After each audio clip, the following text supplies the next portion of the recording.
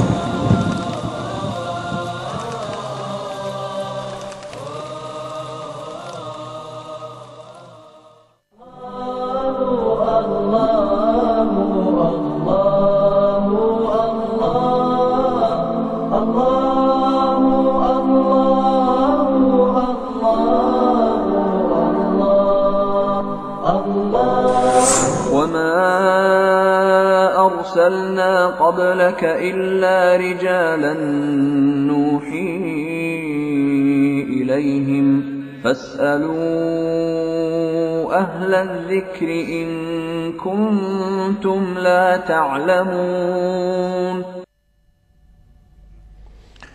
بسم الله الرحمن الرحيم. الحمد لله والصلاة والسلام على سيدنا رسول الله وعلى آله وأصحابه ومن والاه. أما بعد السلام عليكم ورحمة الله وبركاته. در دومین روز از ماه مبارک رمضان در خدمت شما هستیم. انشاءالله که خداوند توفیق دهد در این لحظاتی که با شما هستیم بتوانیم اونطور که مورد رضای خداست پاسخ به پرسش های شما بدهیم در رابطه با مسائل احکام روزه نماز و عقیده.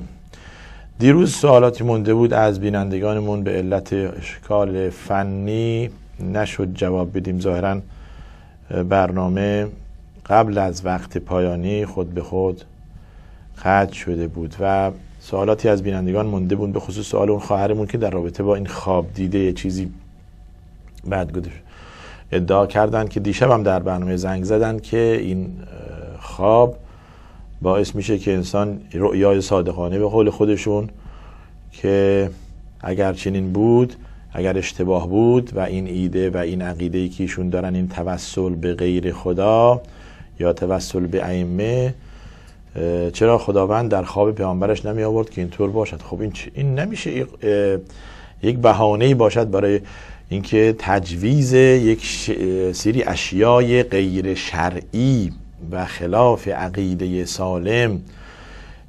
خداوند نه اینکه به خواب پیامبرش آورده آیه نازل کرده برای این مسئله. این آیه که میفرماید که شما غیر از خدا و من اضل ممن یدعو.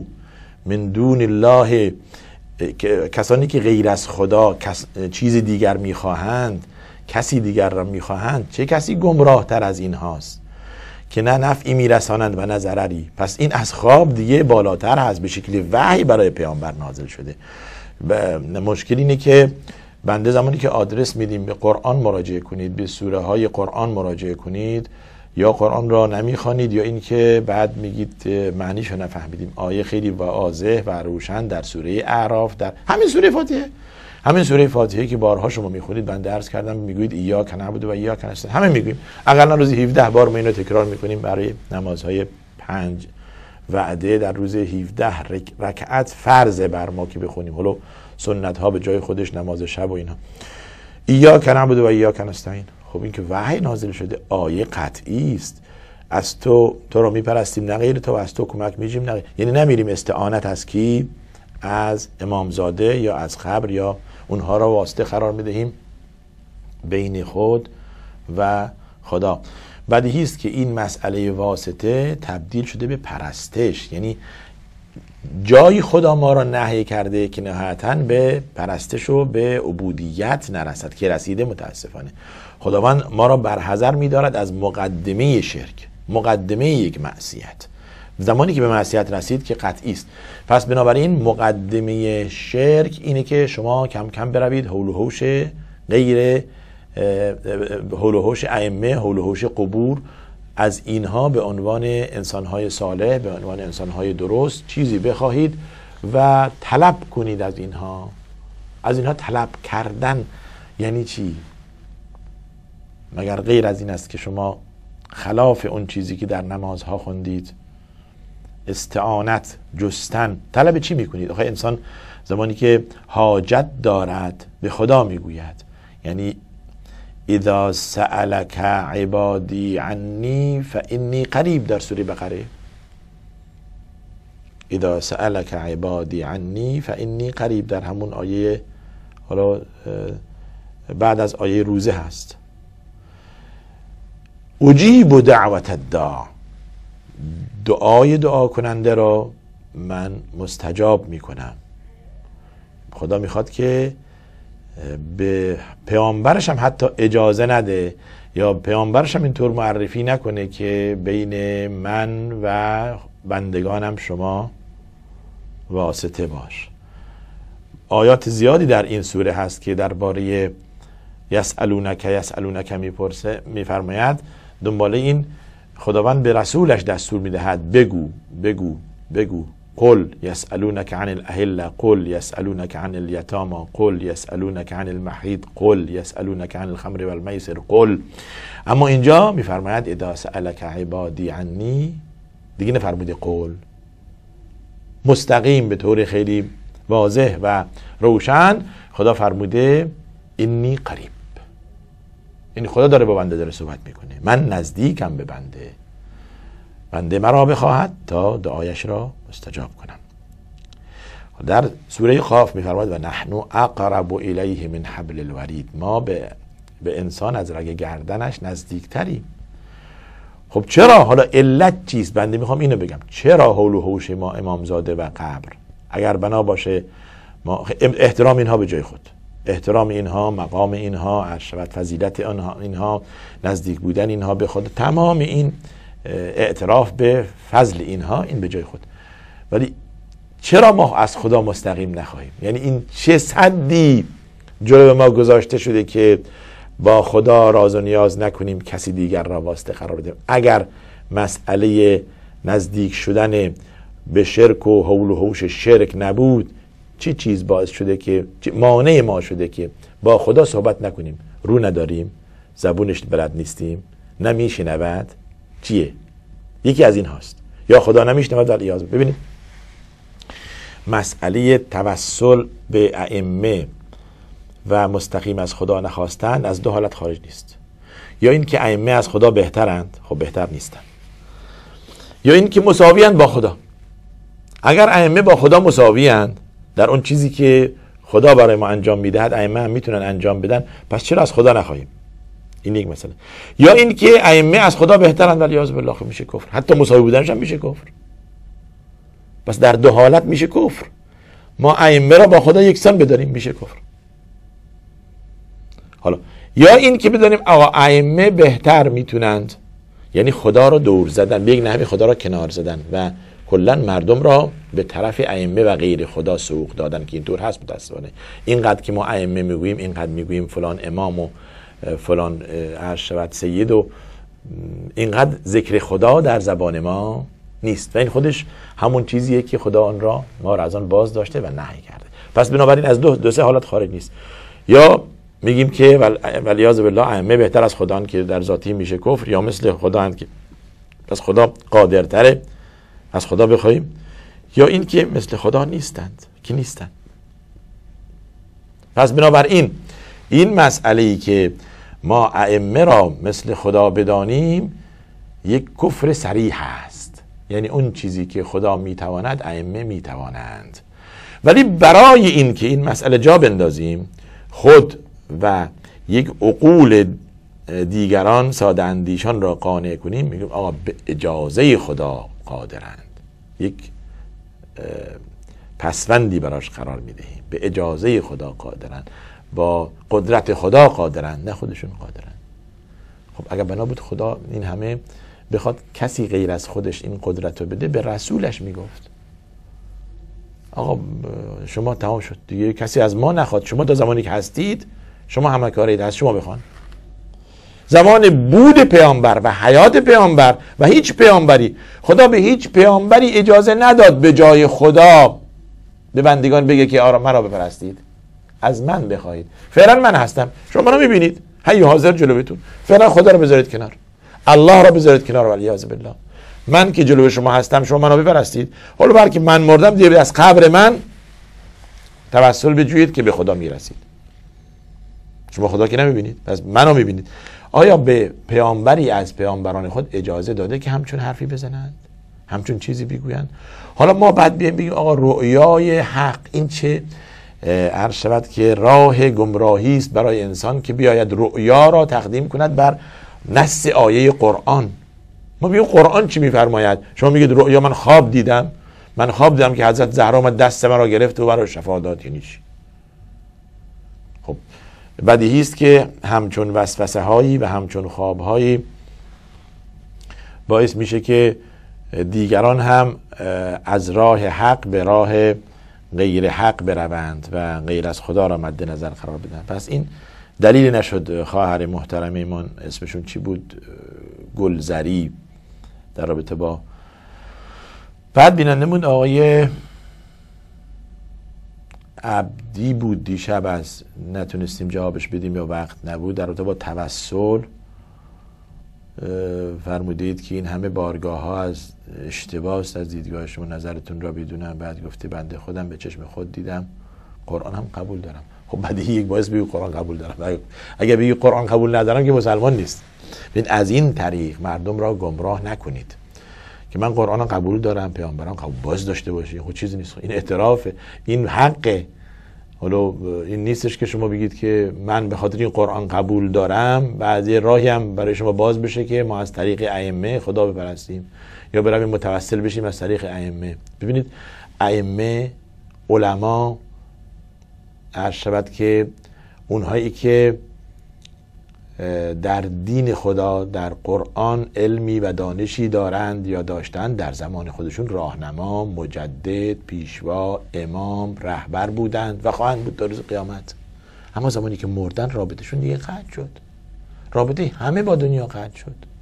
دیگه ما اگر که مسئله توحید و یک تا پرستی خدا را مد نظر قرار بدهیم دیگه بعد از وفات هیچ شخصی به قبرش متوسل نمی‌شویم. در در زمانی که زنده هست توصیه می‌کنیم آقا از علمت که چیزیست بیاد ما بده. هرچی خدا یاد داده یاد ما بده. برای ما دعا کن.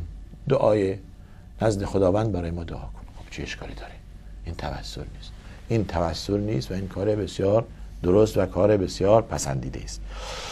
بسیار این در رابطه با مسئله ائمه سوالاتی که دیروز باقی مونده بود. حالا چی بود دیگه؟ مسئله تلفن دارید خیلی خوب. تلفن رو بدید که این سوالا رو اولویت دارن بینندگانی که پشت خطن بفرمایید. بله. بله. زیبا از آلمان. بفرمایید. سلام علیکم. علیکم السلام. صداتون رو بلندتر لطفا. حال شما خوبه؟ تشکر. تشکر می‌کنم از برنامه های خوب شما. خیلی زنده شما. و ما از آلمان صحبت می‌کنم من یک سوال دارم صدا رو بشنوین. بله بله صداتون فقط پایینه. حالا یا اتاق فرمان. صدایشون رو بالاتر بیارید یا خود شما لطف کنید. یکم صداتون رو بالاتر. من یک سوال دارم. سوال میست که مثلا این خانم هایی که در وقت عادت ماوار در ماه رمضان مثلا دو ساعت به اشتار می‌گذاره یا یک ساعت مریض معارض میشه. آیا ما می‌تونیم که دوام بدیم یا ساوش شما می‌تونید که بر ما یک معلومات بتین و دوم دیگه امی یک یکی از علمای افغان اینا می‌گفتن که در زمان محمد صلی الله علیه وسلم مشرکین مکه مشرکین قسم بر مردم می مشرکین در زمان محمد صلی الله علیه وسلم آنقدر اذیت نکردن. مثلا وقتی که صحابه یا کسایی که قرآن میخواندن نمیگذاشتن که بر مردم صدای حق برسه یا چک یا کف می‌زدن یا اشتلاق می‌کردن. و حالا هم امی مشرکین امی زبان حالا حالا ما می‌بینیم به صدای حق به channel های حق اینا مثلا channel شما پرازیت میندازن این هم بدترین مشرکین از اون زبان و از اون دوره است. شما هم می‌تونید که معلومات می باره بودید انشالله انشالله برای بیننده بعدی را. بیننده بعدی را اگر آماده دارید ندارید تا جواب خواهر بله؟ فاطمه از ایران ما بنا شد که اسم منطقه رو نبریم. فاطمه از ایران بفرمایید. خواهرمون فاطمه بفرمایید. الو. بله. الو. بگوشیم. خسته نباشید. تشکر. اه، طاعتتون قبول انشالله خواستم یه سوالی کنم. گفتم اگر زنی روزه باشه همسرش بعد از یه هفته به خانه بیاد و ازش خود همسرش هم همسر روزه نباشه ولی زنش روزه باشه. بعد ازش خوا- خواهش کنه که باش همبستر بشه. آیا روزش با اون همبستری بشکنه؟ چه حکمی داره؟ یک سوال دومم اینه که اگه مردی از عقب همسرش استفاده کنه اون حکمش چیه؟ جواب رو از گیرنده خواهید اگه- شنید انشاءالله. جواب رو از گیرنده دارم اگه اگه تو اگه روزه باشه خواب ببینه باید چیکار کنه؟ روزش رو بشکنه نشکنه چیکار کنه؟ بسیار. خیلی ممنون. خدا حافظ خسته نباش بیننده بعدی را بدید یا اینکه جواب این دو بیننده را بدهیم؟ بله. بیننده بعدی را بدید. احمد از ایران. بفرمایید آقا احمد.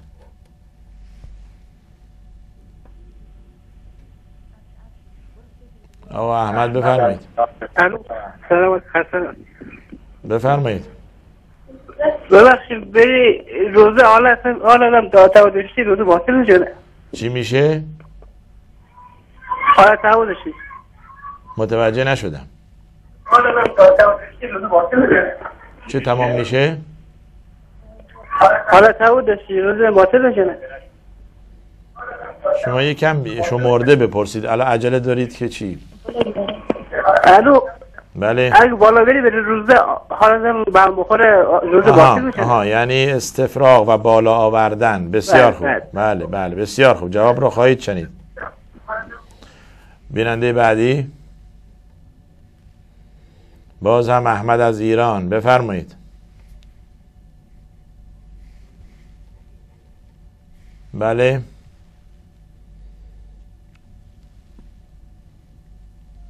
به گوشیم آقا احمد از ایران. اسما از ایران بفرمایید. اسما از ایران بفرمایید. خدمتی؟ بفرمایید. احمد. خسته نباشید. متشکر آقا احمد بفرمایید. طاعت و شما قبول بشه همچون شما. آقای خدمتی زیاد صحبت نکنم مزاحمتون نباشم. کاش. خدمتی در رابطه با این فیلم سیدنا عمر گفتم پخش میشه. اینو می‌خواستم سوال خدمتتون داشته باشم. جواب را خواهید. شنید. از گیرنده بشنوید. بیننده بعدی. بیننده بعدی رو وصل کنید یا جواب بدیم؟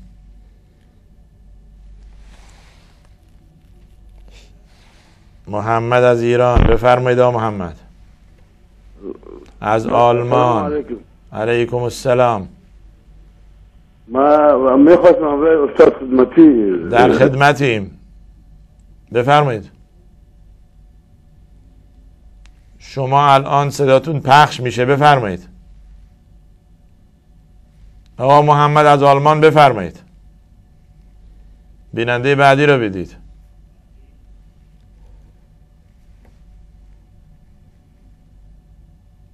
بیننده بعدی.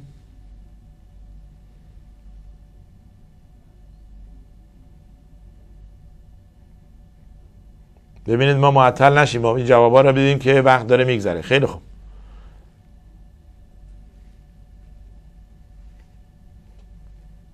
الو. خیلی خوب. و ام خب تلفن رو نگه دارید فعلا جواب کسی ندید تا این تمام کنیم. این سه چهار تا تلفن خواهرمون از آلمان زیبا در رابطه با آیت ماهیانه. اه، بدیهی است هر زمانی که شما این طبیعتی است در در همه خواهران و مادران و دختران هر مسلمان هر بشر. این طبیعی است. حالا شما طبق عادت قبل از رمضان اگر که عادت بشوید عادت ماهیانتون در رمضان باشه. از زمان شروع عادت ماهیانه تا پایان آن نه روزه و نه نماز می‌خوانید.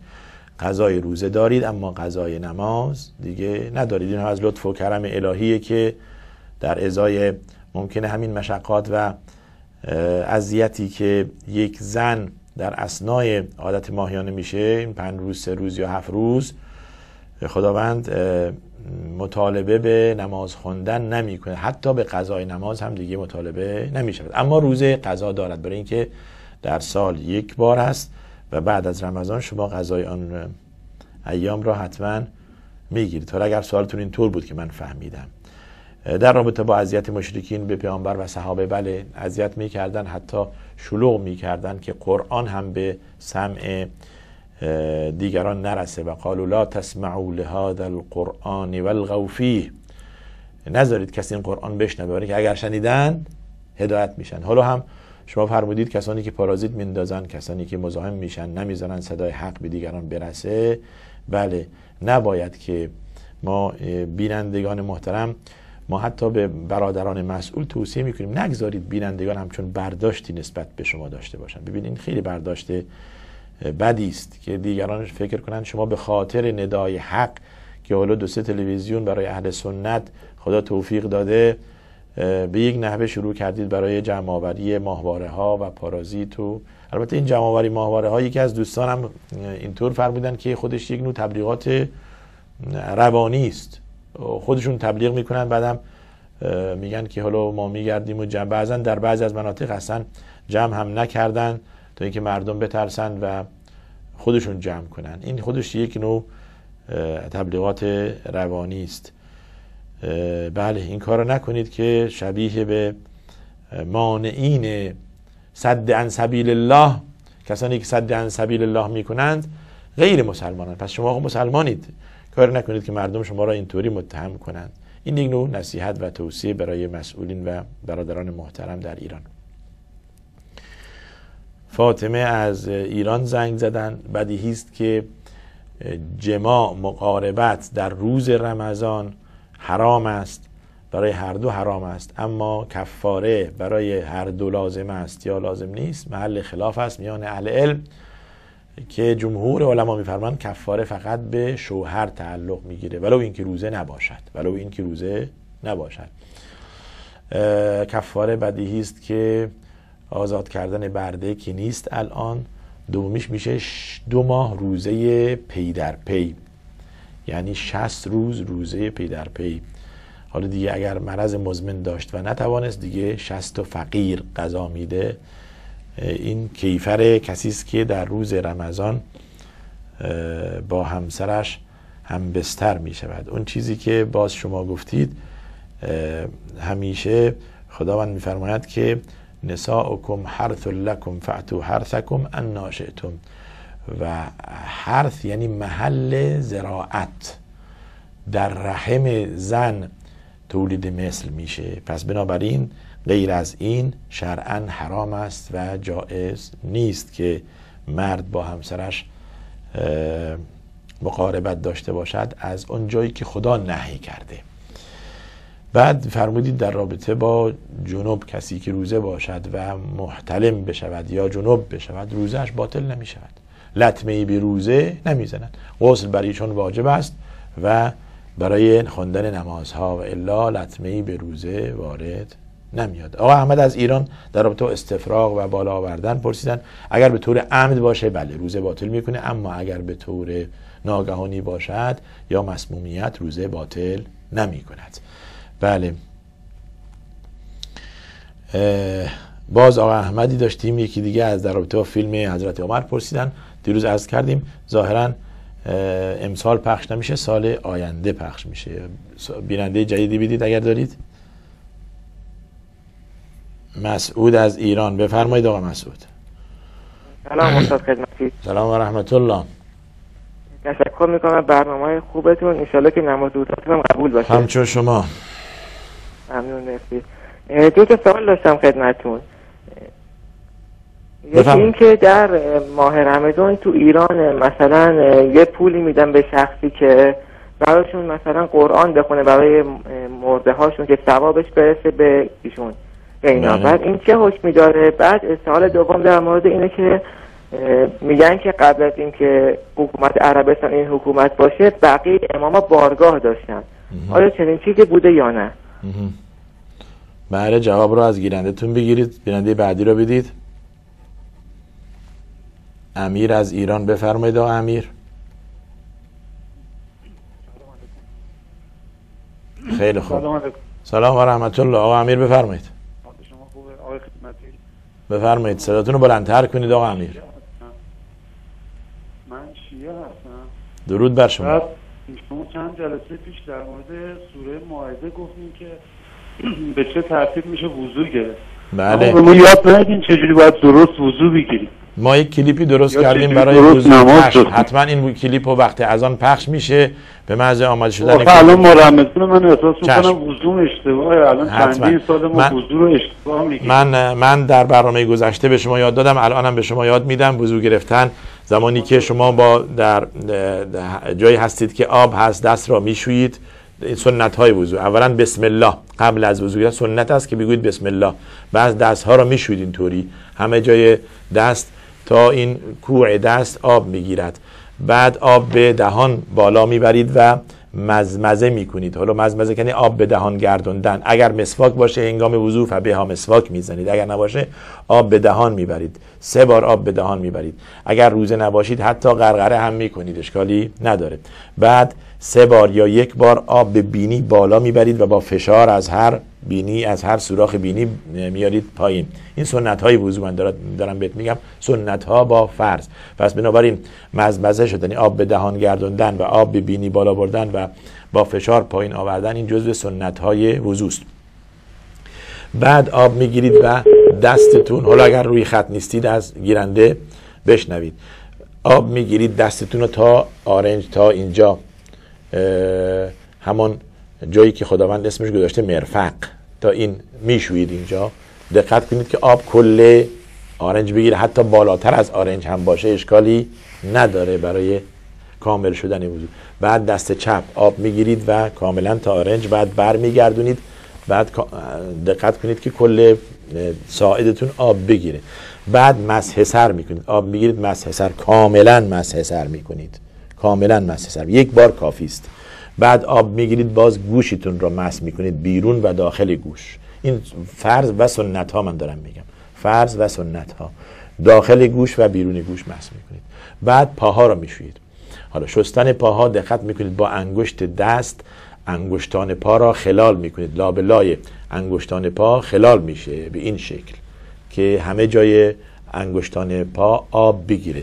به خصوص کف پا را خوب میشویید کف پا را خوب میشویید بعد میایید تا قوزک اون دو استخوان برآمده دو بغل پا کعبین به تعبیر قرآن به تعبیر سوره مایده کعبین دو استخوانی که. هر پا دو استخوان دو طرفش هست. اون کعبین هست. تا اونجا و بالاتر هم می‌شوید. کاملا می‌شوید. پشت پا.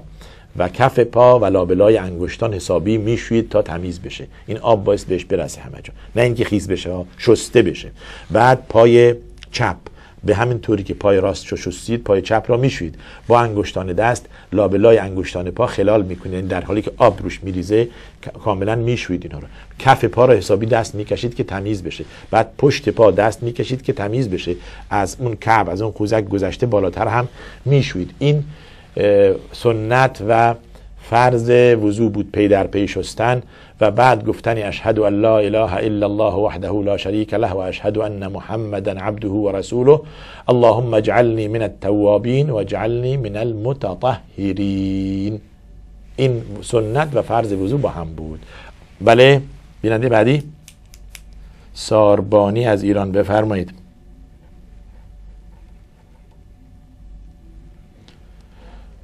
چی شد بالاخره؟ محمد از ایران بفرمایید. الو سلام علیکم. بفرمایید آقا محمد. سلام علیکم. علیکم السلام. بفرمایید. می‌خواستم درباره ماه رمضان بپرسم به خاطر افطار ما تو کشور ایران این افطار ما چجوری بکنیم؟ افطارتون چجوری بکنید؟ افطار بنا بله. بسیار یعنی با منظور ما که با آزان ایران افطار کنیم یا قبل از آزان اینا باش. بیننده بعدی رو بدید. محمد نبیل از آلمان از دانمارک. بفرمایید. سلام علیکم استاد علیکم گرامی السلام و رحمت الله شبتون مبارک روزا قبول باشه. من سوال داشتم من پیشتر من کانال اهل بیت دیدم. همینجا یا میگم که حضرت ابوبکر صدیق رضی الله عنه و حضرت عمر فاروق و کلمه کفر خطاب می‌کنن. تمام وجود ما در لرزه آمد.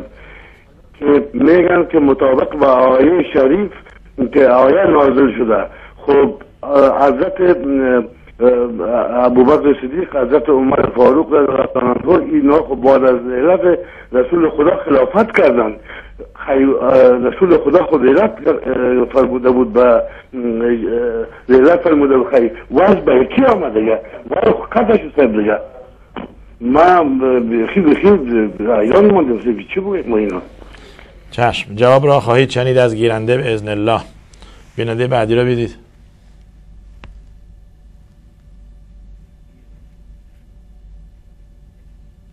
عتیق از ایران بفرمایید.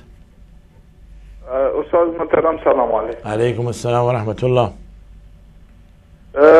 من سوال داشتم استاد ما تقریبا شش هفته پیشتر یک جراحی شدیم. ما تقریبا دیروز امروز روزه خود گرفتیم از تکلیف اه، چه من چی کنم به حساب نماز اینا جواب را از گیرنده انشاءالله. باشه خدا حافظ سلام خدا حافظ شما. بیننده بعدی را بیدید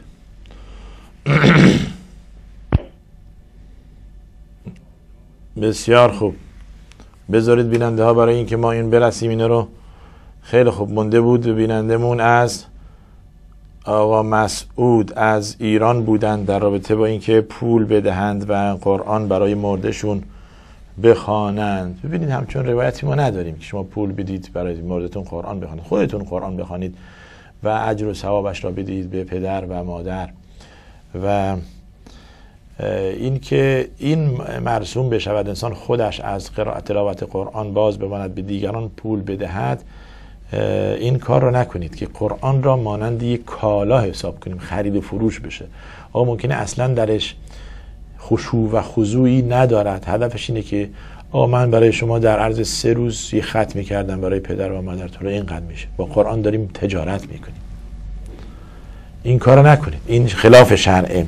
پس خودتون قرآن بخوانید ولو اینکه یک سوره بخوانید حالا تو چه هسته حتما نیست. اینکه شما ختم کنید بعد به والدین خود این را ببخشید. شما انفاق کنید غیر از آن. دعا کنید. دعا کنید برای والدین برای پدر مادرتون در نمازهاتون. بهترین چیزه. هر زمانی انفاق کردید به قصد این که اجرش به والدین برسه این کار را انجام بدهید. پس بنابراین این پول دادن و کرایه گرفتن افراد این خلاف شرع هست. بله بعد گفته اید که شنیدیم قبل از حکومت آل سعود در بقی بارگاه بوده. بله درست شنیدید. در زمان خلافت عثمانی ها امپراتوری عثمانی که ترک ها در همه جا حاکم بودن در بله بله این رم یادآوری می‌کنن. بینندگان میگن که شما از بس عجله کردید در نحوه وضوع گرفتن صورت شستن رو فراموش کردید. خب خیلی عجیبه یک رکن مهمی از ارکان وضوع رو ما فراموش کردیم. پس اگر برمیگردیم به به بینندمون و نحوه وضوع گرفتن بعد از شستن دو دست و بعد از آب به دهان گرداندن و به بینی بالا بردن شستن صورت واجبه. میفرماید وجوه حکم نست آیه هست. وجوه حکم به زمانی که یا ایها الذین آمنوا اذا قمتم الى الصلاه فاغسلوا وجوهکم. وجوهکم و ایدیکم الى المرافق و امسحوا برؤوسکم و ارجلکم الى الکعبین پس بعد از مزمزه یا آب به دهان گردوندن و آب بینی بالا بردن دیگه بعدش چیه؟ شستن صورت هست. حالا هر کدوم سه بار که همه جای صورت آب بگیره طول و عرض صورت از پیشانی جبهه تا چانه و از این گوش تا این گوش میشه طول و عرض صورت آب بگیره. بعد ما دست را تا آرنج میشوییم و دیگه مسه سر می‌کنیم. خیلی خوب. با عرض پوزش از این عجله همینه دیگه. خدا خیرتون بده که یادآوری کردید برمیگردیم به سوال بینندمون آقا محمد یا آقا مسعود در رابطه با این که بعد قبل از حکومتی که الان هستش بارگاه ها بود و اون زمان تصوف به اوج خود رسیده بود. همین کاری که در جاها انجام میشه روی هر قبری نه این بارگاهی که الان ما داریم می‌بینیم که با گنبد طلا و نمی‌دونم با نقره و درهای طلا و نمی‌دونم فرش های خیلی گرانه نه اینطوری نبود. برای هر کدوم یک چیز درست کرده بودن و مثل سر آبنباری که بعضی جاها گرفته میشه به این شکل. بعد که این مسئله دعوت به توحید همه جا را فرا گرفت خود مردم آمدن و این را دیگه از بین بردند و تو تبدیل شده بود به همون چیزی که الان در برخی از کشورهاست. من بارها عرض کردم که حتی در کتب فقه هم مثلا در فقه اب- ابی شجاع اون آیت الاختصار ابی شجاع اصفهانی. خب این ذکر شده که قبر نباید گچکاری بشود یا چیزی بر آن بنا شود. در لمعتین برادران یا لمعتان که می‌خونن لمعه دمشقیه در این اولین کتابی است که در حوزه تدریس میشه. سال اول دوران طلبگی خب نه شده از اینکه قبر روی قبر چیزی درست بشه. ما می‌خونیم اما بهش عمل نمی‌کنیم. در کتب فقه تازه نوشته تا چه رسد که دیگه بعد اون روایاتی که از حضرت رسول صلی الله علیه و سلم هست و از حضرت علی است و اون قاضی شریح را زمانی که به یمن فرستاد این را میفرماید که همونطور که پیامبر ما را به یمن فرستاد و بدان دستور داد تو را بدان دستور می‌دهم که قبرهای بلند را با زمین یکسان کنی. یعنی یک وجب بیشتر از حالا 20 سانت از, از زمین بیشتر بالا نباشند. و اون مجسمه و تمثال اگر دیدی جایی هستم از بین ببرید تا به شکل پرستش بیرون نیاد. پس این خیلی ساده هست.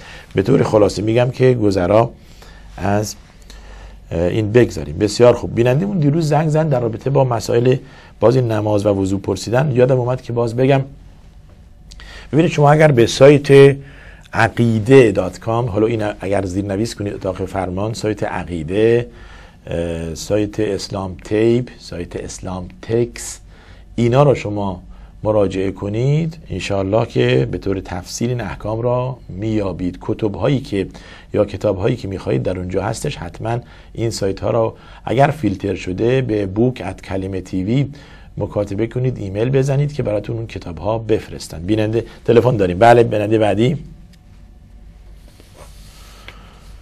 زهرا از ایران. بفرمایید خواهرمون زهرا. الو. بفرمایید. الو. الو سلام. به گوشیم علیکم السلام. الو. الو سلام. استاد خدمتی؟ به گوشیم بفرمایید. من سوالی که داشتم استاد سوالی که داشتم من تقریبا یک سال خونریزی های متعدد دارم. بعد الان تحت درمان هستم. و تحت درمان که هستم دو نوبت آمپول زدن. الان که ماه مبارک رمضانه من الان دو روز تقریبا خون دارم ولی خون کم. آیا می‌تونم روزه و نمازم رو بخونم؟ حالا روزه هستم. حالا هی خواستم سوال کنم از اون از این و از اون سوال کردم جواب مستقی نگرفتم. از گیرنده. از گیرنده بله. جواب می‌گیرید سوالتون مفهومه. از گیرنده جواب بشنوید بیننده بعدی را بدید. محمدی از ایران. بفرمایید. آقای محمدی. الو سلام علیکم. علیکم السلام.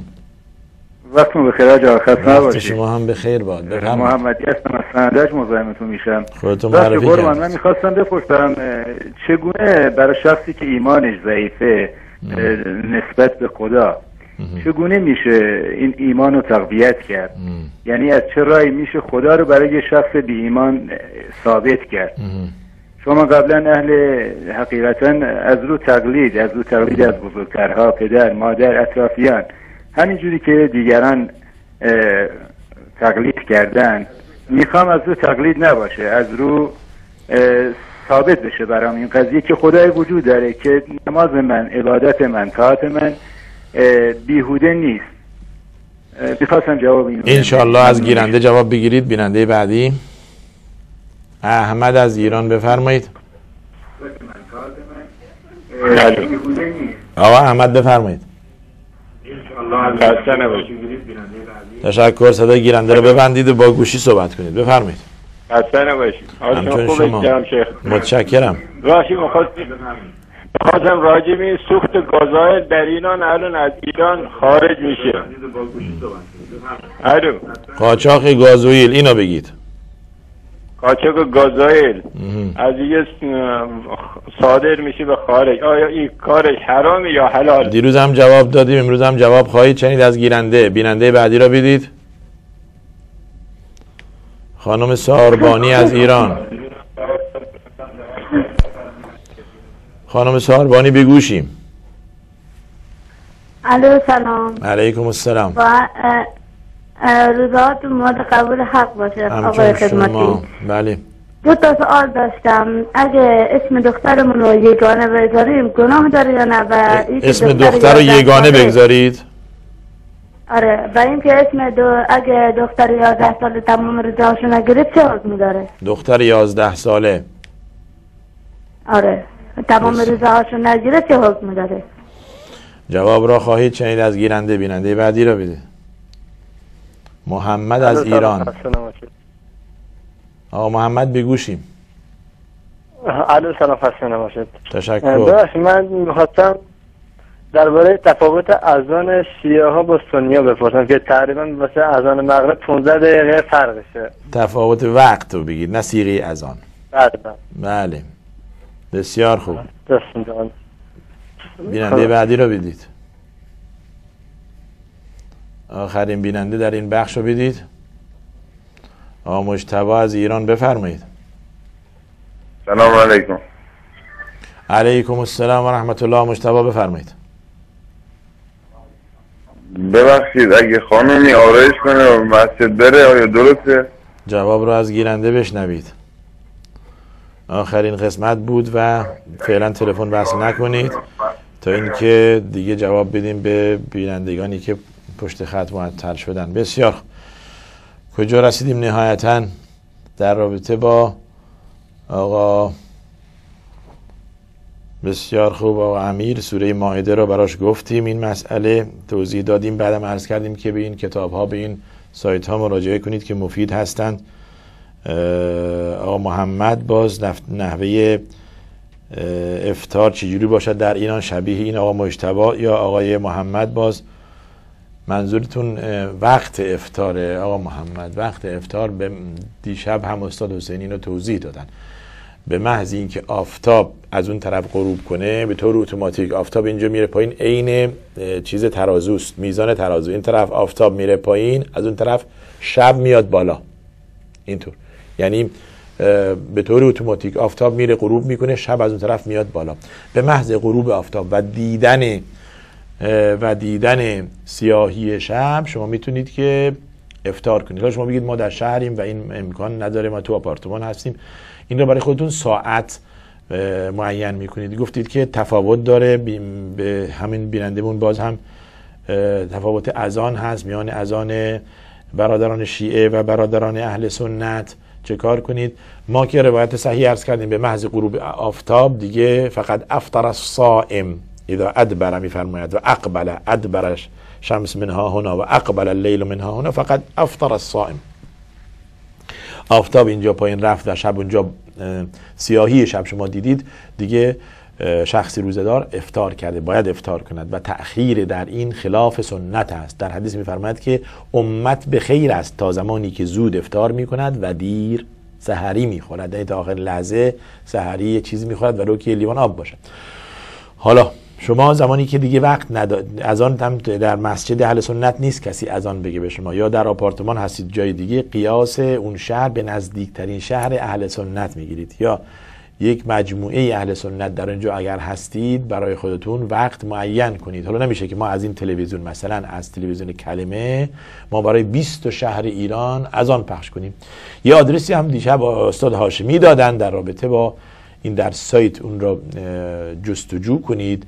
به نام الا سلاتی. حالا اگر می نویسید الا با مثل الی نوشته میشه الف و لام و این یایی که مثل الیست الا سلاتی نماز سلاتی.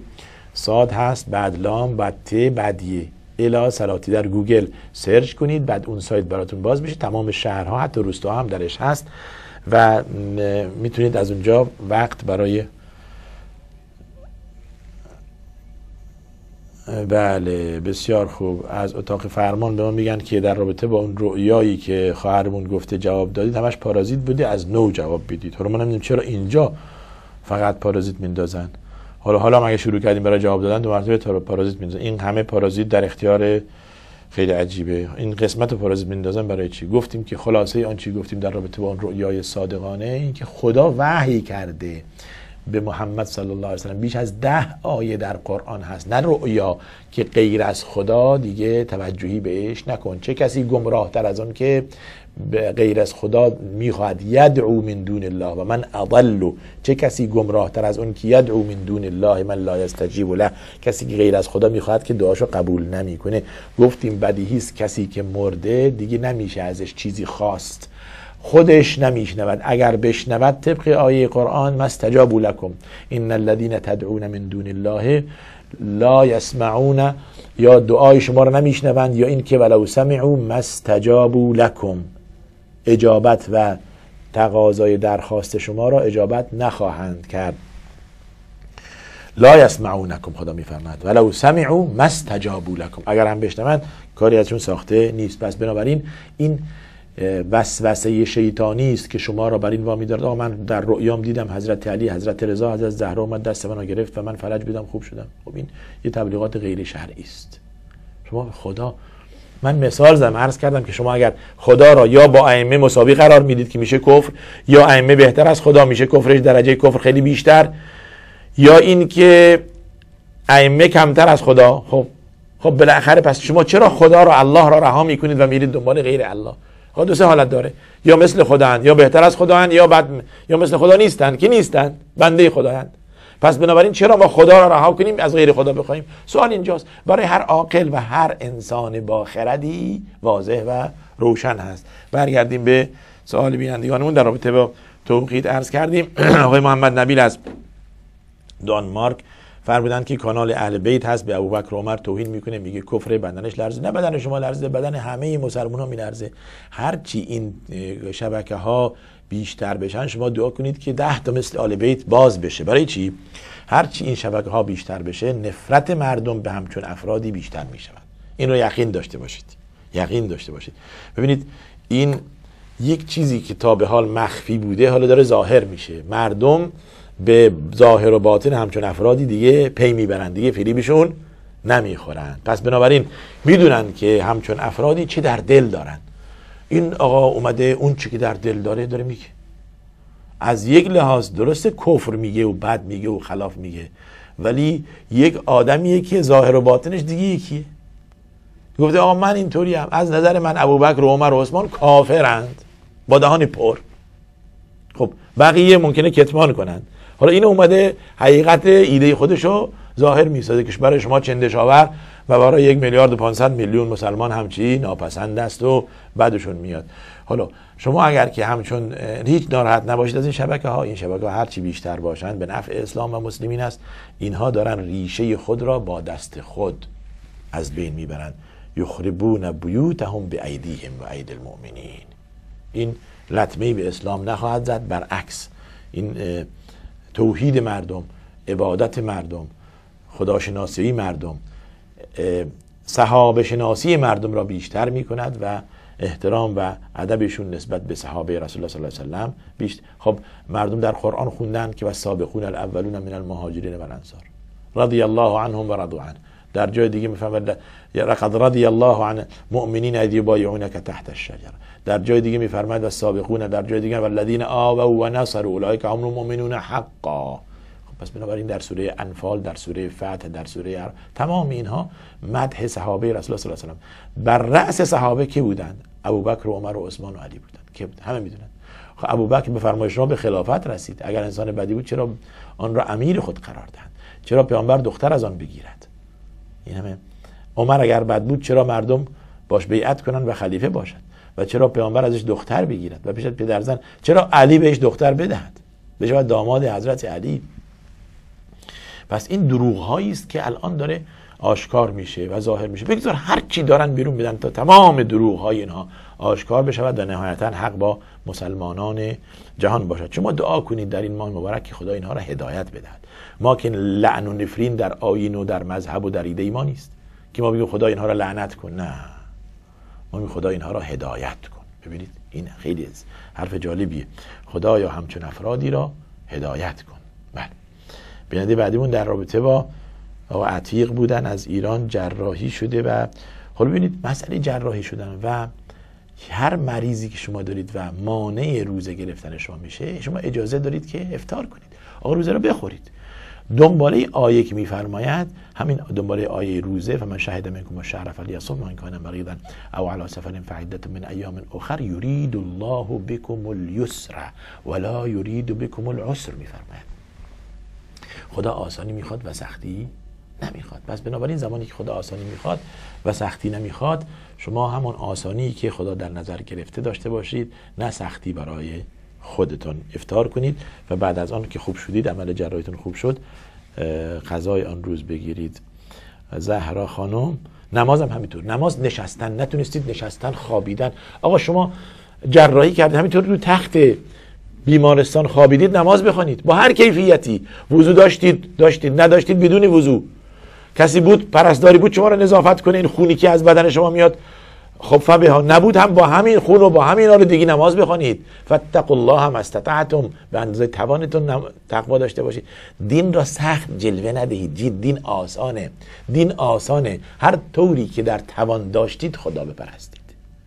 لا یکلف الله نفسا الا وسعها. ولی نماز بخوانید. ولی نماز بخوانید. ولو که با اشاره باشد. الله اکبر. سمع الله لمن حمیده. الله اکبر. تا این حد.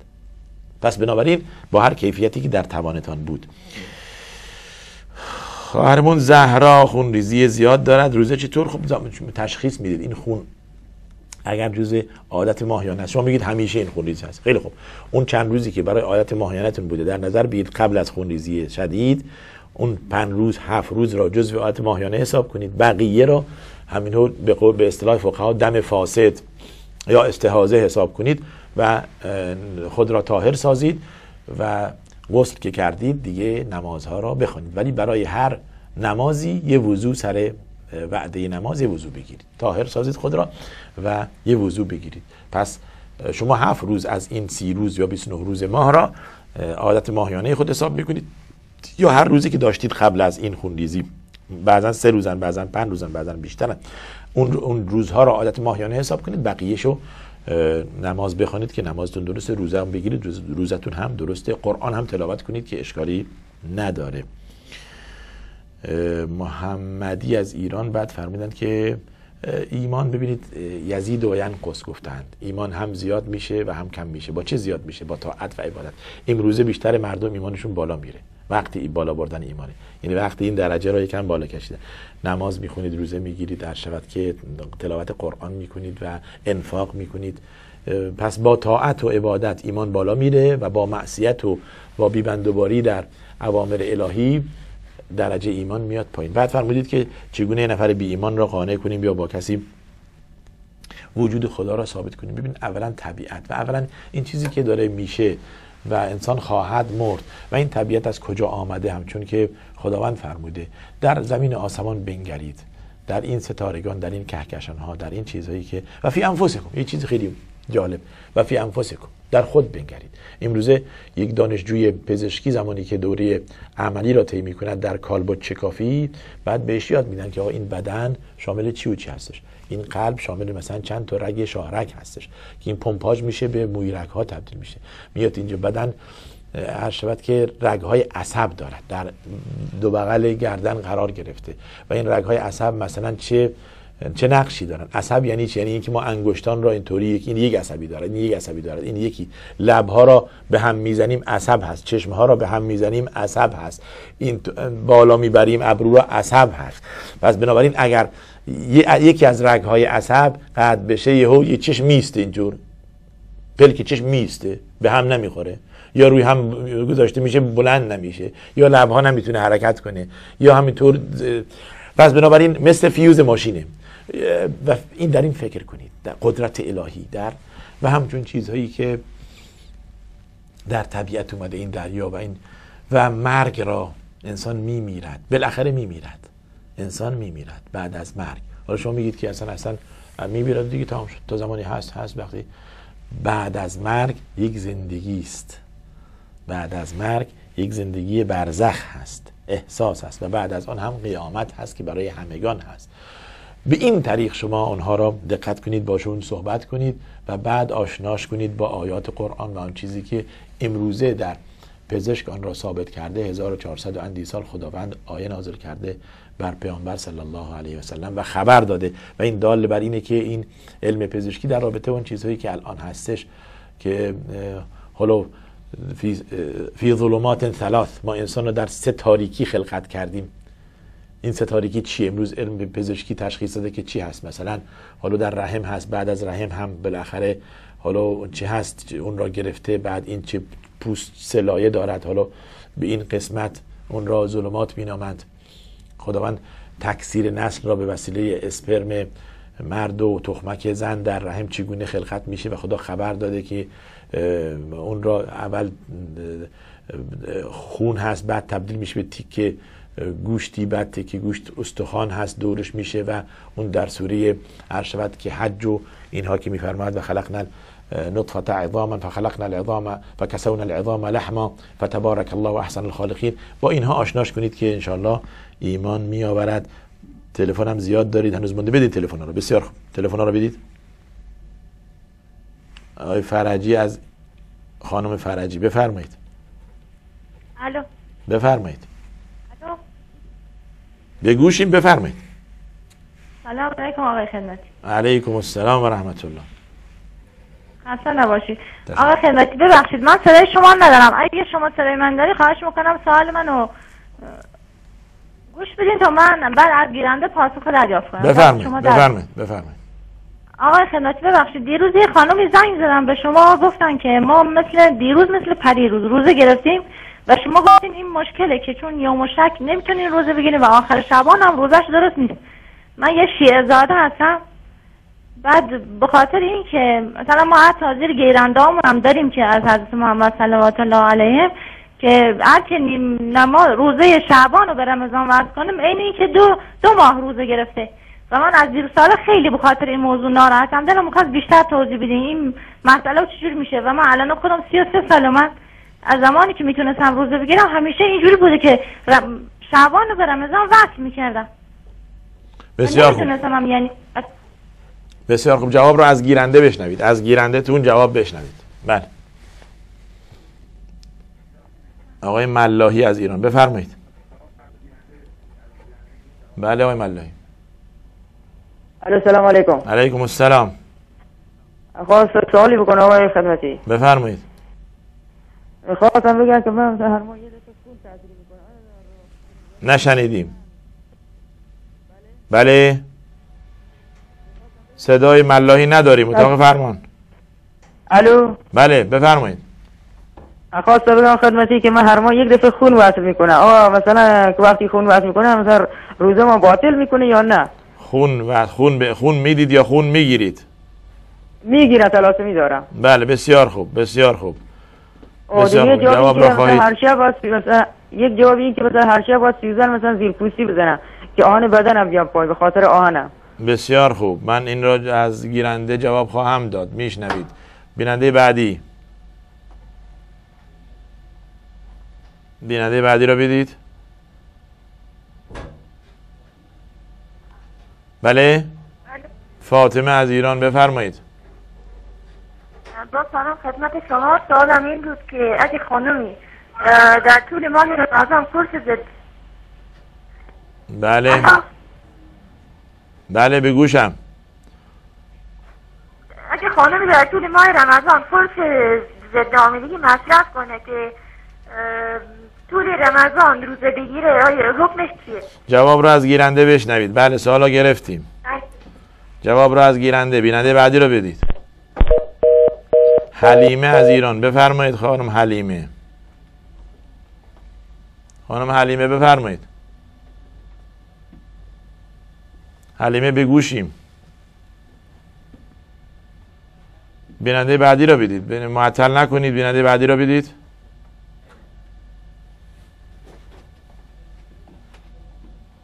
اگر نیست پس ما جواب بدیم به بله بسیار خوب. معطل نکنید ما جواب بدیم به بینندگانمون که قبلا پرسش داشتند بسیار.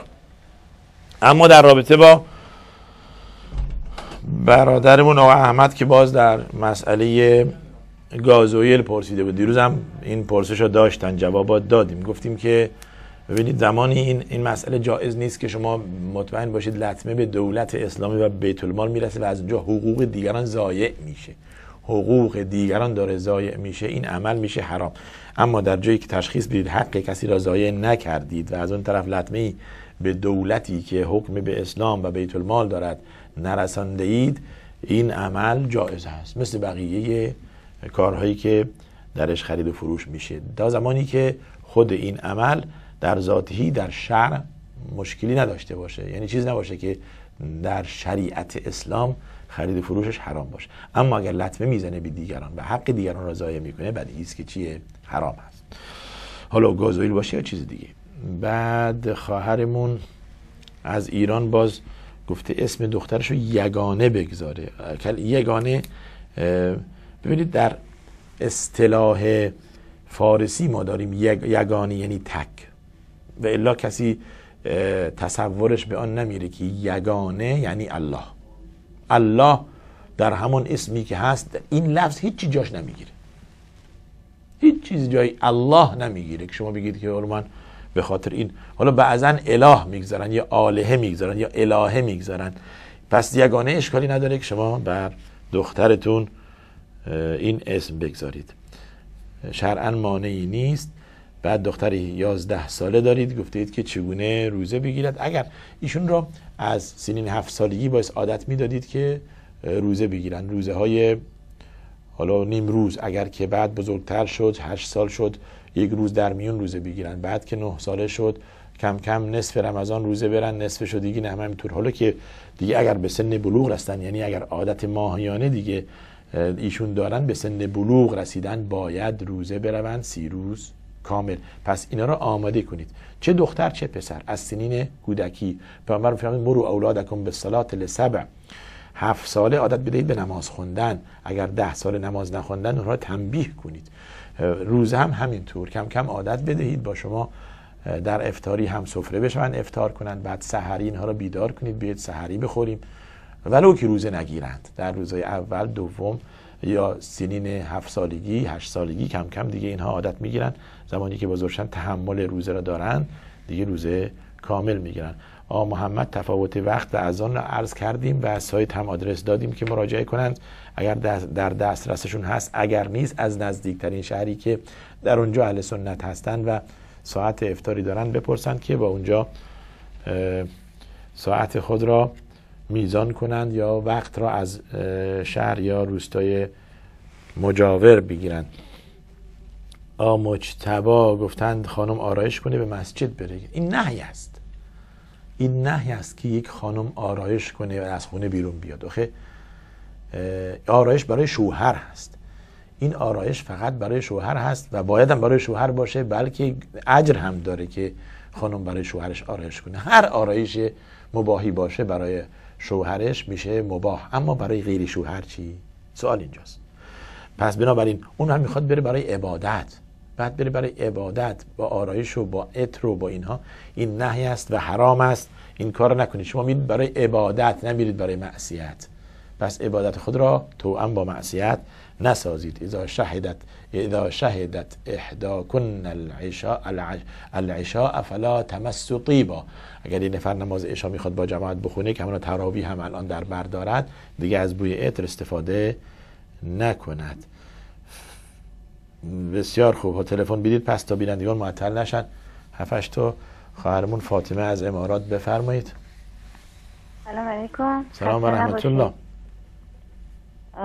منم می‌خواستم تبریک بگم در درجه اول رسیدن ماه رمضان و به همه موحدین عزیز هموطنان فارسی زبونا و تلویزیون کلمه و نور همه استادا و همه کسایی که زحمت می‌کشن که واقعا این صحبت های شما همیشه هدایتی بوده برای ما که راهمون رو بهتر بشناسیم.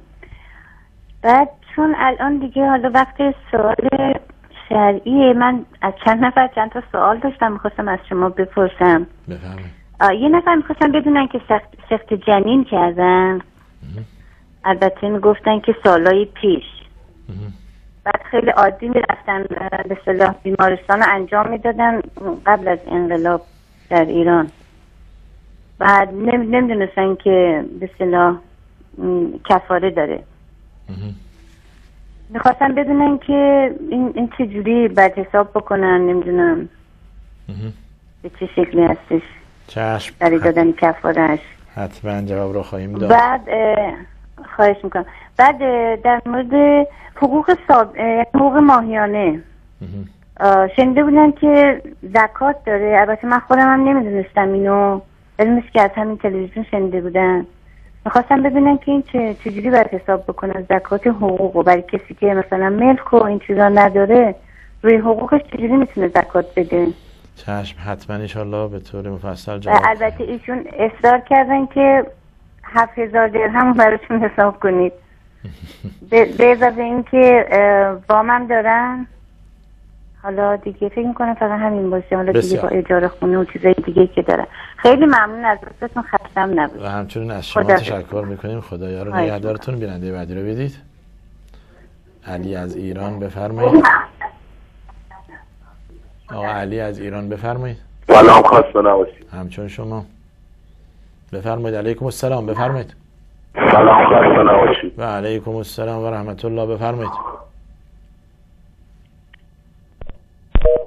بیننده بعدی رو بدید. بیننده بعدی؟ آقا عبدالله از ایران بفرمایید. سلام استاد خدمتی. علیکم السلام و رحمت الله. سلام استاد خدمتی. گیرنده رو ببندید و با تلفن با ما صحبت کنید. بفرمایید.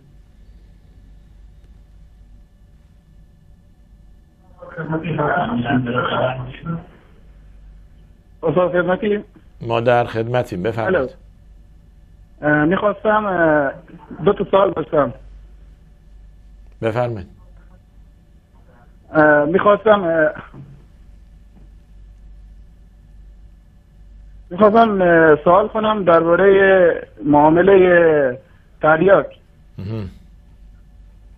بعدم می‌خواستم ببینم گرد و خاک روزه رو باطل می‌کنه یا نه؟ سال دوم گرد و خاک. بله. گرد و آه. خاک. منظورتون گرد و خاکه نه از هم خانواده تریاک گرد بله. و خاک طبیعی. بله. بله بله بله. بعدم معامله اون هم چیز هم بگید معامله عرب آبجو اینا معامله می‌کنن از خطر بیان اینا. بسیار خوب. خب، جواب رو از. گیرنده بگیرید. بیننده بعدی؟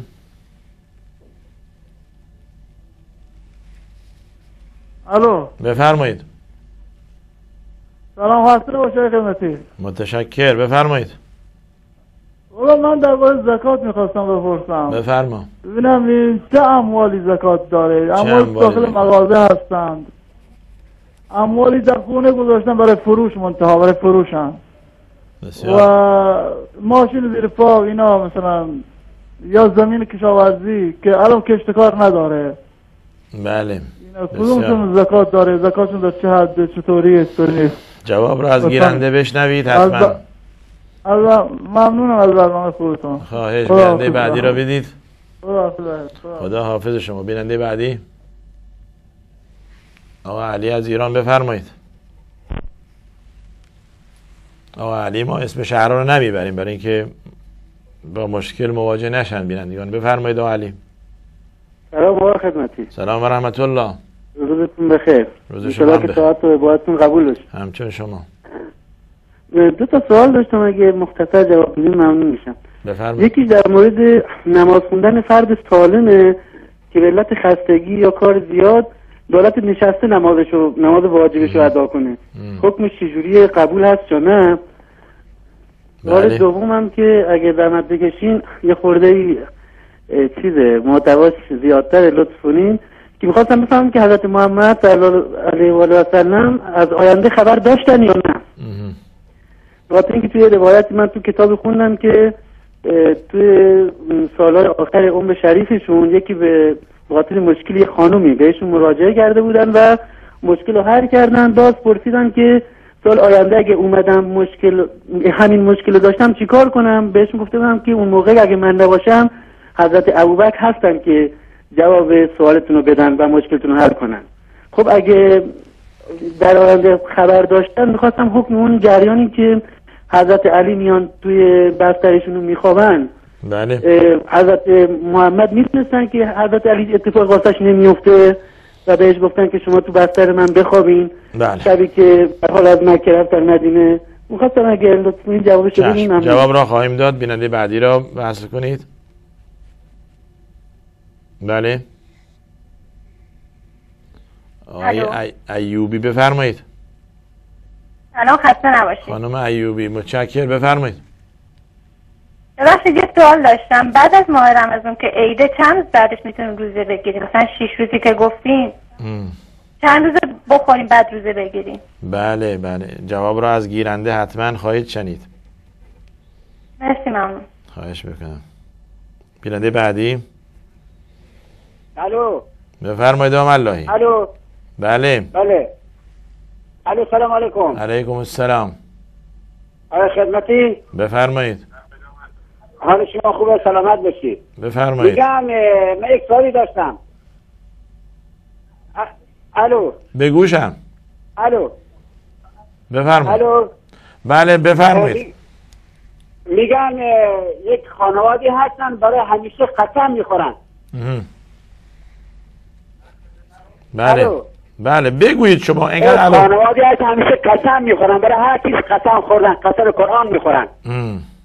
بسیار خوب. لطفا جواب بدید حتما. از گیرنده بگیرید. بیننده بعدی رو بدید. بین... بله. بیننده بعدی رو بدید. یا صبر کنید تا این قسمت ما بسیار خوب. بله. الو. از آلمان. الو سلام. سلام. الو سلام.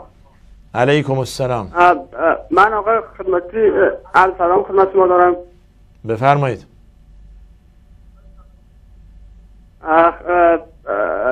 روز ماه مبارک رمضان به شما تبریک عرض می‌کنم.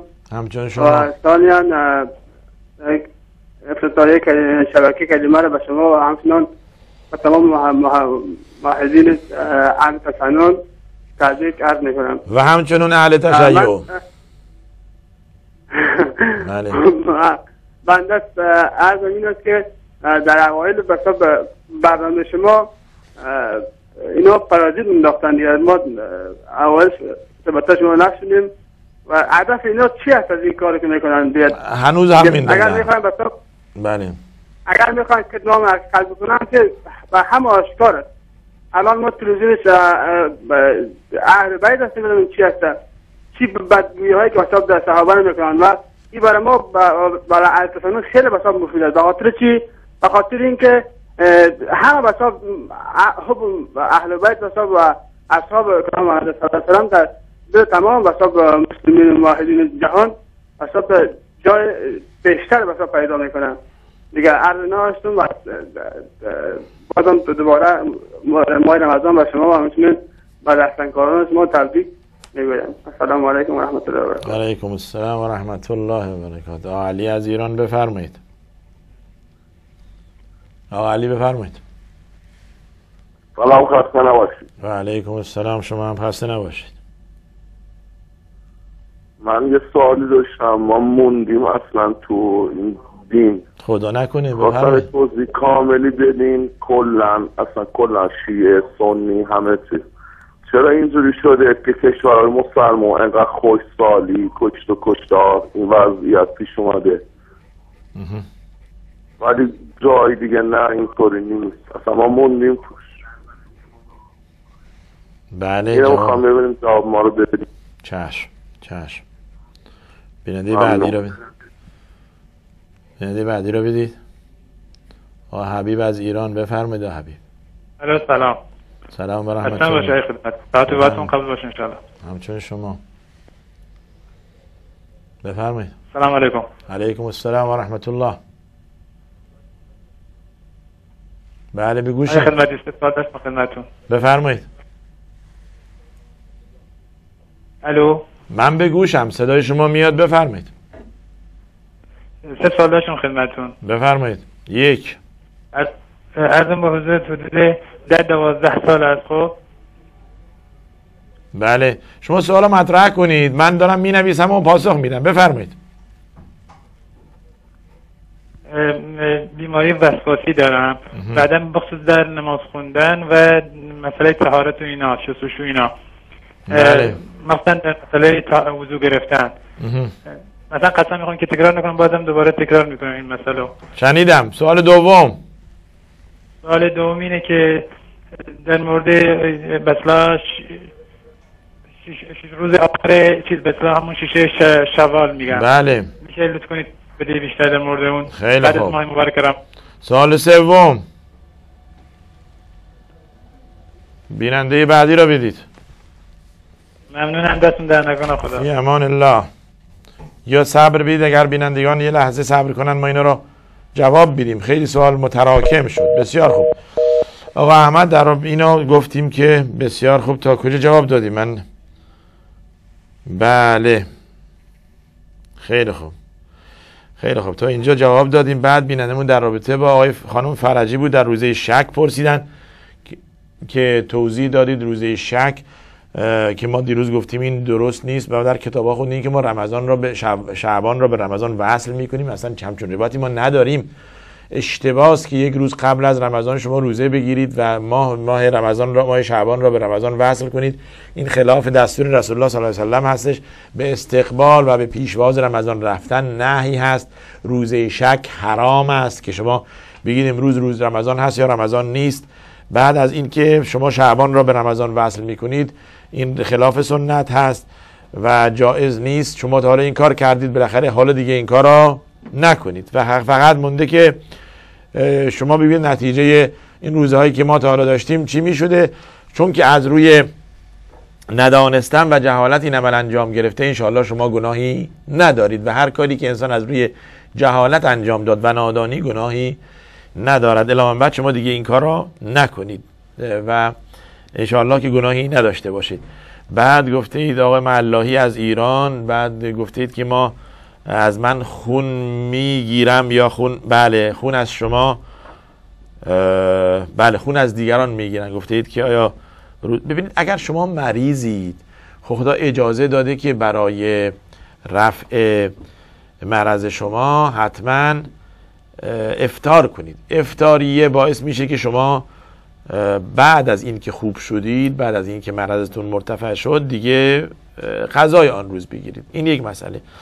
اما خون دادن و خون گرفتن با, با که این کمیت زیاد خون که شما الان دارید دارید میگید ما دیالیز میشیم. خب این دیگه کل بدنتون به هم می‌خوره و مریض هستید.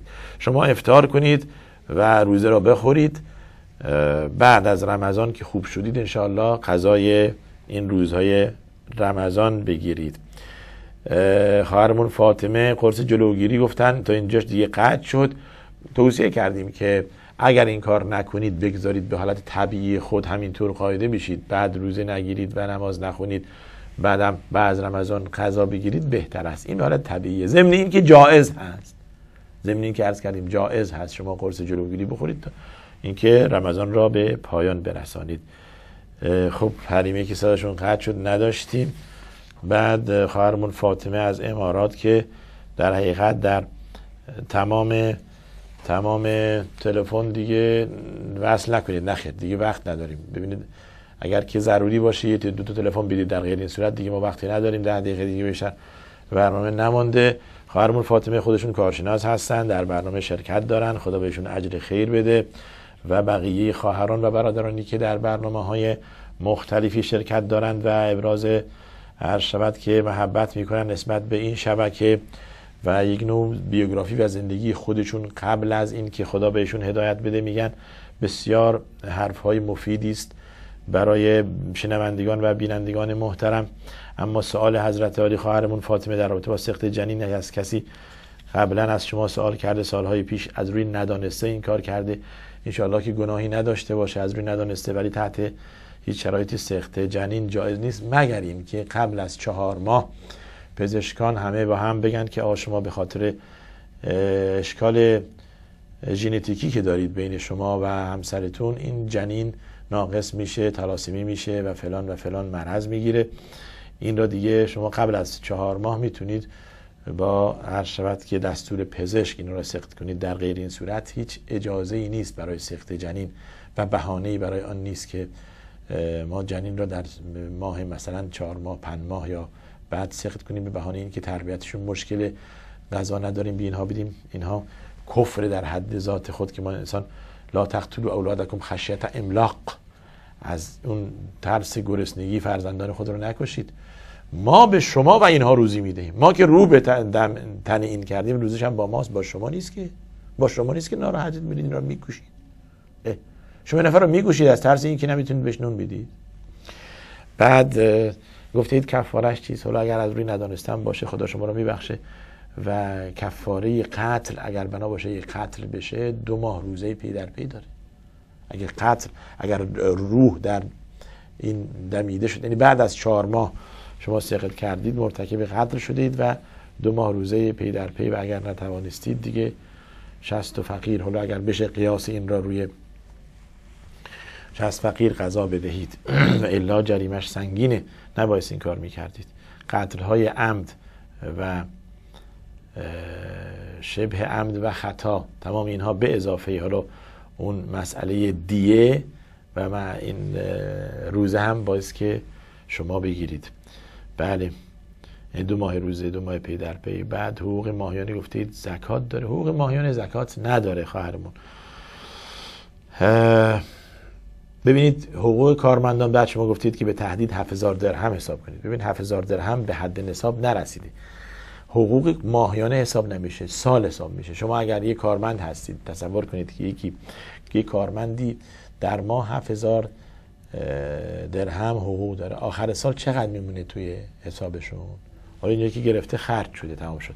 در آخر ماه در آخر سال یکی از شرایط وجوب زکات اینه که سال از آن بگذرد. حولان حول به اصطلاح فقها. سال هجری قمری ازش بگذره. بعد به حد نصاب برسه که حد نصاب پولم همون حد نصاب تلاس که امروزه چیزی حدود 14 هزار درهم میشه. به درهم حالا امارات یا ریال سعودی هر چی حساب کردید. در این حدود ظاهرا میشه. حالا بعد حساب کنید که در سال چقدر مونده.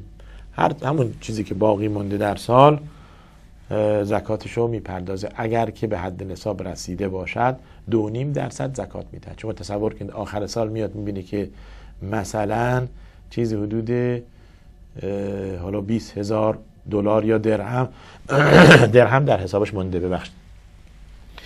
این 20 هزار درهم دو نیم درصدش زکات میده. تمام شد. دو نیم درصد این زکات میده. اگر بیشتر مونده همینطور حساب می‌کنه. آخر سال نه ماه. چون که زکات را آخر سال میدن نه آخر هر ماه. بینندمون عبدالله از ایران در رابطه با معامله تریاک. خب بدی هرچی خوردنش و اینها حرام میشه معامله کردن آن هم چیز. حرام میشه. بعضا می‌گوید برای دارو استفاده میشه. اگر که بدید به داروخانه بخرید و بدید به داروخانه که برای دارو استفاده کنه اون اشکالی نداره. پس جهت مصرف هم معین کنید لطفا. اگر بناست که یا یه نفر میره کشت می‌کنه این تریاک رو برای اینکه بعد بده به شرکت داروسازی که از طرف اون کشور رسما مجوز داره. یعنی در غیر مصارف دارویی چیز دیگه استفاده ازش استفاده دیگری ازش نمی‌کنن. در غیر این صورت خرید فروش تریاک میشه. حرام. بعد گفتید گرد و غبار عادی که دود میاد تو صحرا و جای دیگه هستش اینها روزه باطل نمی‌کنه. ببینید این سخت دیشب هم یک بینندمون زنگ زن در رابطه با این که در کارخانه سنگ تراشی کار می‌کنه که مجبوره حالا یک ماسکی یک چیزی هم میپیچه جلو صورتشون ولی ملوث ممکنه گردی بره در گلو یا بینیشون. این گردها روزه باطل نمی‌کنه. بعد گفتید معامله آبجو خب بدی هر چی گفتیم که نوشیدنش و خوردنش حرامه معامله کردن و خرید فروش هم میشه حرام. از جمله دخانیات فرق نمی‌کنه باز. معامله در چیزی دیگر داشته باشید نه در آبجو. بله. چه اموالی زکات دارد اموالی که زکات دارد از نقدینه طلا و نقره و هرچی در این خانواده باشه یعنی پول. بعد میاد در حیوانات شتر و گاو و گوسفند چهار پایان. بعد در کشتنی ها مثل جو گندم و هرچی که در این خانواده باشه وقت محصول وقتی که درو می‌کنن زکاتشو میدن. زکات طلا از 85 گرم به بالا شروع میشه. زکات نقره از 595 گرم به بالا شروع میشه. اینها زکات داره. و کالای تجارتی شما اگر فروشگاهی دارید یا شرکتی دارید همه حساب بکنید بعد گفته اید که ماشین زیر پا نخه. وسایل شخصی زکات درش نیست. زمین درش زمین کشاورزی درش زکاتی نیست. مگر اینکه هرچی در اون کشت میشه اون چیزی که کشت میشه زکات درش هست نه خود زمین. این قول صحیح هست. بعد وسایل خانه شخصی اتومبیل ماشین و چیزایی که دارید شامل زکات نمیشه. مگر اینکه این ماشین برای تجارت باشه. شما با دارید با این وسیله تجارت می‌کنید. اون مسئله جداست. کالای تجارتی. شما سر آخر سال هجری که شد من درس کردم سال هجری برای اینکه این دقیق تر هست. مثلا اول رمضان حالا که اوایل رمضان هست امروز دوم رمضان هست حساب می‌کنید فروشگاهتون یا شرکتتون چقدر کار کرده طول سال و چقدر هم کالا درش باقی مونده. با هم جمع می‌کنید دو نیم درصد زکاتش می‌دید. بعد آقا علی نماز بدون عذر نماز نشسته بدون عذر فرمودن. گفتید خسته اید یعنی نمی‌تونید بیستید. دو نوع داریم. خستگی که شما را از ایستادن باز میدارد. خب میشینید نماز می‌خونید مشکل نیست. جایز است بله. یا خستگی که شما از ایستادن باز نمیدارد. یعنی یکم به اصطلاح امروزی تنبلی می‌خواهید بکنید. اون دیگه نباشد.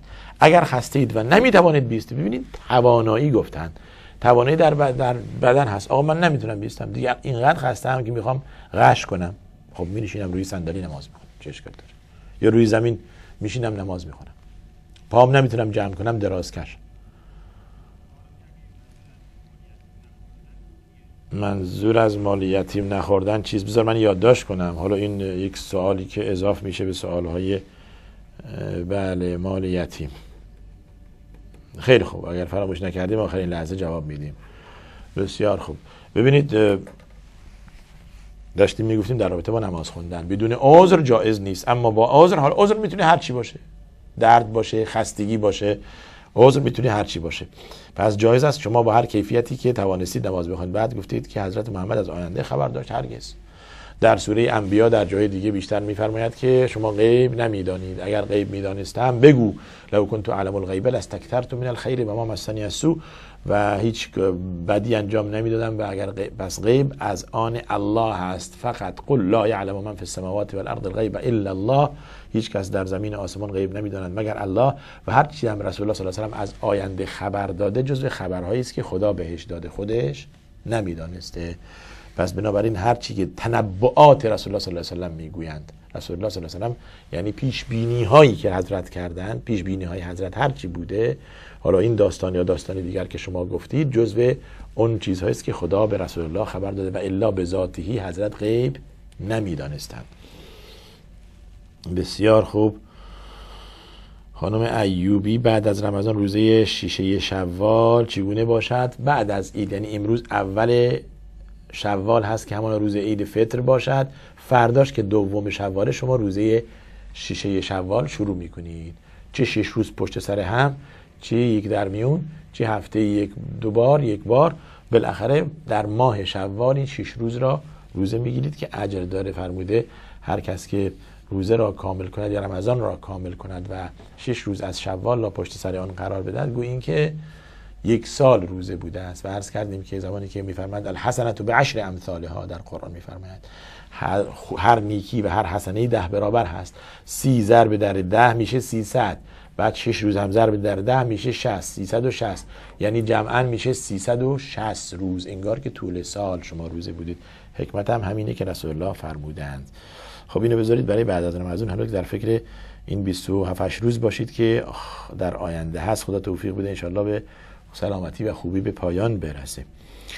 آقای ملاحی قسم خوردن زیاد. ببینید لا تجعل الله عرضة لایمانکم دستاویز خود قرار ندهید. خداوند الله. سبحانه و تعالی به خاطر هر کوچک و بزرگی قسم یاد کنیم. آخر آیه میفرماد و ایمانکم مواظب باشید. قسم را بر جایی که ضرورت دارد یاد کنید. این والله و بالله و تالله برای ضرورت و برای اهمیت موضوع گفته می شود نه بر هر صغیره و کبیره شما قسم یاد می کنید عظمت الله را بیاد خود بیاورید. توجه فرمودید.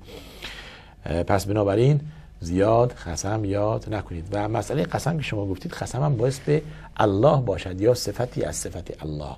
نه اینکه به حضرت عباسی قسم سر پسرم قسم سر بابام قسم سر بچه هام قسم. این قسم ها باطل است و قسم های جاهلی است. عبدالله ابن مسعودی که صحابه است میفرماید که اگر من قسم به خدا یاد کنم و دروغ بگویم خیلی نزد من پسندیده تر و محبوب تر است تا اینی که قسم بر غیر خدا یاد کنم و راست گویم. یعنی راست میگم زمانی میگم حضرت عباسی راستم میگم. ولی این جایز نیست. ولی اگر دروغ بگویم و بر خدا و والله و بالله خب بالاخره در عقیده من دیگه لطمه وارد نشده. یک معصیتی است فقط. اما اونجا لطمه شما به ایده و عقیده خود وارد ساختید. گفتید بله به امام رضا قسم به حضرت عباس قسم. خب اینا که بشرن. حضرت عباس و امام رضا بر کی قسم میخوردن. این خیلی مسئله است. پس بنابراین این را در نظر داشته باشید که قسم بر سر هر کس یاد نکنید یا بر سر هر چیزی قسم. از آلمان بینندمون در رابطه با این مسئله پارازیت گفتن. بله. حالا ببینید این شبکه های مثل که شما نام بردید شبکه های آل بیت نمی‌دونم فلان اینها که پارازیت لازم نداره و بودن همچون شبکه هایی به ذاتیی بسیار جالبه. بنده عرض کردم ای کاش ده تا شبکه مثل آل بیت هم بود. توجه مردم به همچون شبکه هایی چی بیشتر نمیشه و مردم را بهتر عادت می‌دهد به حقیقت گفتن. مردم دیگه می‌دونن حق و باطل را چگونه از هم دیگه تشخیص بدن. زمانی که مثل همچون شبکه های شنیدن می‌دونن که چه شبکه هایی درش حق گفته میشه و چه شبکه هایی درش باطل گفته میشه. پس در حقیقت اون چیزی که شما شنیده اید نسبت به یا دیده شبکه های باطل و شبکه هایی که همش با توهین و نفرین و بدی است. و شبکه هایی مثل شبکه های کلمه میشنوید. بعد می‌تونید تمیز بدید که کدام بر حق و کدام بر باطلن. حکم با خود شماست. علی آقا از ایران گفتند که آیا این من توش مندم حالا شیعه سنی خوشسالی و اینها به خاطر چیست؟ ببینید این ربطه به شیعه و سنی دیگه نداره. ربطه به این عبادت خدا داره و خداپرستی. و توکل بر خدا. ببینید توکل بر خدا زمانی که باشد عبادت خدا باشد وحده لا شریک له باشد توحید باشد. در یک سرزمینی خدا بهش برکت میده. چون در سرزمین مکه دعای حضرت ابراهیم فرمود که رب اجعل هذا بلدا امنا وارزق اهله من الثمرات. از همه میوه ها به این بده دعای ابراهیمی. در جزیره العرب همیشه اونهایی که در خلیج هستن هم از برکت دعای ابراهیمی دارن استفاده می‌برن. به خاطر توحید و یکتاپرستی. هر جا که حالا شما توجه کنید جایی که به اسم اسلام لطمه به اسلام می‌زنند جایی که به اسم اسلام شرک و معصیت و کفر. حالا اون که کافره اون که ایده به قرآن و به پیامبر هیچی نداره به جای خودش یک انسان واضح و ممکنه در ظاهر خیلی خوبی هم شود که به سر می‌برد زندگی ظاهری خیلی خوبی هم دارد. ولی ما بیایم به معصیت کنیم و ظلم و ستم. در روایت صحیح میفرماید اگر این چهار پایان گرسنه نبودند و اگر این شیرخاران این کودکان و نوزادان شیرخوار نبودند و اگر این مردان با عبادت که در حال رکوع هستند نبودند هرگز شما به شما باران هم داده نمی‌شود یعنی بعضی وقتا میشه که انسان از طاعت و عبادت دیگران بهره می‌بره. از توحید و یکتاپرستی دیگران چی؟ هم نفعی آیدش میشه. پس بنابراین مسئله شیعه و سنی نیست مسئله توحید است و طاعت و توکل بر خدا. آه حبیب بعد گفتن که دوازده سال بیماری وسواس داره. ببینید این بیماری وسواس جز خود شما کسی دیگه نمی‌تونه علاج کنه. بیماری وسواس فقط با این که خودتون تلقین می‌دید به خودتون که عملتون درسته و الا که زندگی بر شما چی تنگ میشه. مثل که الان تنگ شده بر شما زندگی. میرید برای نظافت در دشویی برای دوش گرفتن در حمام یک ساعت میمونید دو ساعت میمونید. اینقدر آب میریزید که دیگه حالا این در ذاتی میشه اسراف. اگر شما اینو در نظر داشته باشید که شما دارید اسراف می‌کنید و معصیتش خیلی زیاد هست دیگه دست از این وسوسه برمیدارید. آب کمی شما می‌توانید با این آب کم وضو بگیرید. با یک دوش حد اکثر ده دقیقه در حمام بیشتر نمونید. نه اینکه برید دو ساعت در حمام هی آب بریزید هی گفتید بله اینجا بدنم پاک نشده اینجا آب نگرفته دو مرتبه خود خوش کردی برمیگردی زیر دوش دو. این یک وسوسه است که خود شما می‌تونید علاج کنید. هیچ پزشکی هم نمی‌تونه علاج کنه. از خدا بترسید و این وسوسه ها کنار بگذارید. بعد بینندمون در رابطه با و خود شما در رابطه با روزه شوال پرسید چگونه است؟ توضیح دادیم در این سوال بیننده بون که بعد از عید فطر می‌تونید شما شش روز شوال چه پشت سر هم چه جدا فقط تنها روزی که جایز نیست روزه بگیرید روز ایده روز عید فطر که اول شوال میشه جایز نیست. دیگه بقیه از دوم تا آخر میشه. این شش روزه تمام که در رابطه با اموال یتیم که خدا فرمان لا تقربوا مال یتیم الا بالتي احسن. پرسیده یعنی چی؟ یعنی این که شما دقت کنید مال یتیم و حیف و میل نکنید. اگر می‌دونید که واقعا مال یتیم را در یک پروژه و در یک شرکتی مفید و بازده این بگذارید برای یتیم کار کنه. این کار انجام بیده در غیر این صورت. دست نزنید. از اون طرف هم نهی است که ما اموال یتیم رو همینطور رها نکنیم که زکات بخورتش. یعنی هر سال همینطور گذاشته. ما از ترس این که اموال یتیم هست و نباید دست زد هر سال هم باید زکاتش بدیم. نهایتا هیچی نداره یتیم. این اینم باز درست نیست. پس از دو طرف باید احتیاط کرد. نه این که و میل بشه درش نه این که بی‌توجهی بشه و زکات آن را بخوره به اصطلاح حدیث. انشاءالله که خداوند تقوا به همگان بدهد و عبادت را مورد روزه و نماز را مورد درگاه خودش قرار بده. ظاهرا دیگه من سوالی نگذاشتم که جواب نداده باشم. حالا انشالله که همه سوالها را جواب داده باشیم تا فردا که باز هم در خدمت شما باشیم. خداوند توفیق بدهد و بیشتر در خدمت شما باشیم. فقط توصیه همین بنده اینی که در مطرح کردن سوال سوال رو بگید و سریع دیگه این سلامتی و احوال پرسی را کنار بزنید وقت تلف نشه. سلام و علیکم السلام و سوال مطرح بشه تا وقت بیشتری باشه برای بینندگان بیشتری سی چهل تا بتونیم جواب بدیم. خداوند به همگان توفیق بدهد که انشاءالله طاعت و عبادت مورد رضای خدا داشته باشند. تا دیدار دیگر شما به خدا می سپارم. به آخر دعوانا ان الحمد لله رب العالمین. و صلی الله وسلم علی سیدنا محمد و علی آله و صحبه اجمعین. Allah.